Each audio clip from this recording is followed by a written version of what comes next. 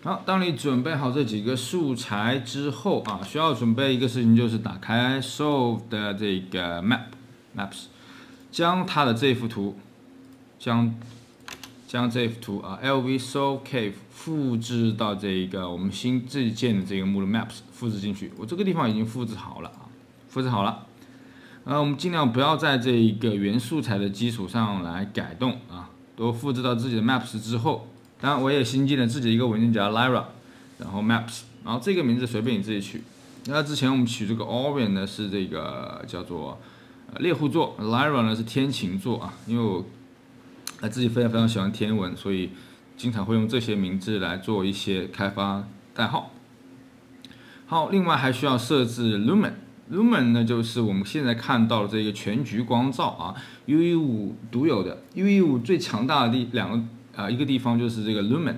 这个动态实时的这个全局光照，它能够让这个啊，你你看到这个世界非常非常的真实，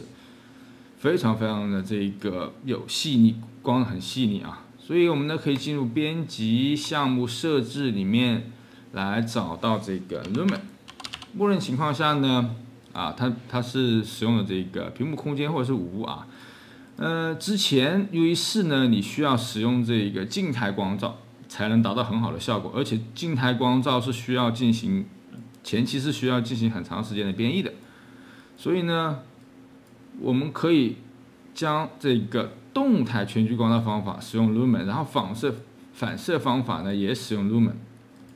这个时候就可以打开这个。啊，动态全局光照了。另外，这个软件光线追踪模式啊，默认好了，细节追踪。另外还需要改一个东西啊，叫做距离场，生成网格体距离场啊，在这个地方你可以打个 distance，生成网格距网格体距离场，把这个勾选起来，就可以使用我们的这一个动态全局光照啊。